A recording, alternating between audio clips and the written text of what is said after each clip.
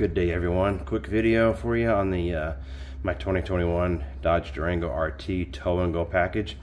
Uh, I bought the Eibach lowering springs, the Pro Kit. They only make one for the tow and go. And I believe they're the same for the all three models, RT Tow and Go, SRT, and Hellcat. Anyway, I installed these and what you don't know is you need an extra part. When you go to align the uh, after you install the Eibach springs, your rear tires,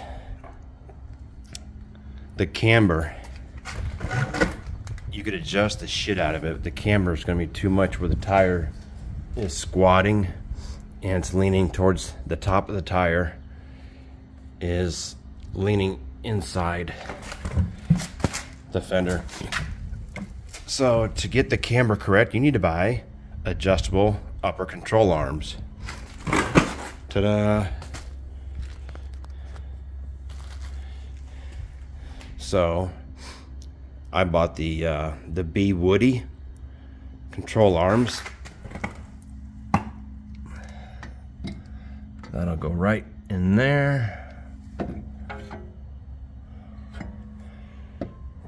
To replace the stock, flimsy as hell by the way, control arm for the camber.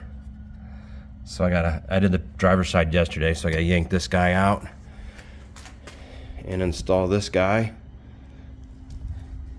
And it's double adjustable, so you can adjust this side turns to make it longer. You can also make this side turn and make it longer. I'm not gonna do, I'm not gonna do a whole video on how to install it. It's pretty straightforward. You got one bolt there and you got two bolts back there. Pretty simple. And you just got to take off this this line and they provide a couple zip ties to tie the line back onto the onto this guy when you're done. Now I bought the hybrid. These are the hybrid. They come in three versions polyurethane bushings hybrid and the um, Delrin which is high performance which is you only get the Delrin bushings if you're running like 900 horsepower or more. So I just got the, the hybrid. So this is this is a real strong uh, Delrin. It's not polyurethane. So that goes on the that goes on the frame side, so it'll be nice and sturdy. Um, but then this side is the uh, softer polyurethane rubber, so it'll be quieter and won't make any noise on the road as much as a pure Delrin race application would. So Anyway, it's funny that after I bought the Eibach springs, got them installed, let them settle for a little bit, and I took it to, uh, I got my friend has an alignment shop. When you aligned it, and the camber is, is way off on the rear end. You know, that the tires are squatting like inside the, they're leaning pretty, leaning pretty bad in, towards the inside, towards the upper part there. So um, I went to Eibach website, and sure enough, guess what they have now? They have adjustable control arms because I think they're getting some complaints about the cambers way off. So anyway, you know, this is good. This is turning into a, a more expensive project than I wanted it to be.